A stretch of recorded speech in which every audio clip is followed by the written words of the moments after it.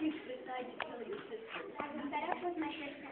My half and I devised a kill, devised a plan to kill my sister and run off. Do you regret what you did? No, well, I didn't really kill my sister. Because if I didn't kill my sister, I would have been a slave for my family and had my to help. At the same time, I am now married to a prince, and my half is happy and healthy. Princess and I live happily ever after. What would you say to young lassie that is stands in, that is in the same situation as you? Whatever you do, don't kill anyone. Try to work it out with it. Even though I have my situation worked out, violence is never good. Do you have any future plans for your children? Yes, I started to work on my second story that is more kid-friendly. I plan to sell it Walt Disney. Well, that's all the questions I have for you. Thanks for your time. I'm Aidan Champion, reporting live from Scotland. Now back to you, Ethan, in the studio.